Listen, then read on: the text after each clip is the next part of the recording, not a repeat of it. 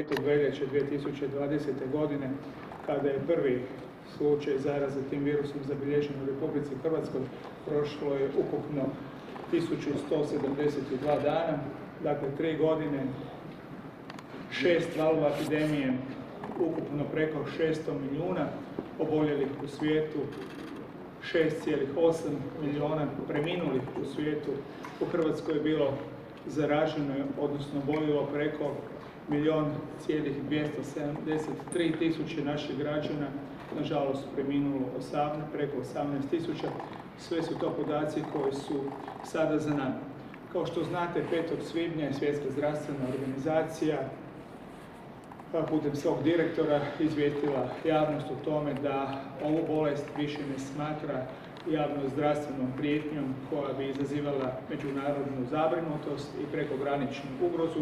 Stoga je Hrvatski zavod za javno zdravstvo, na čemu mu zahvaljujem, sukladno zakonskoj proceduri, napisao određeni dopis Ministarstvu zdravstva koje su naše stručne službe također evaluirale i uputile u daljnju vladinu proceduru.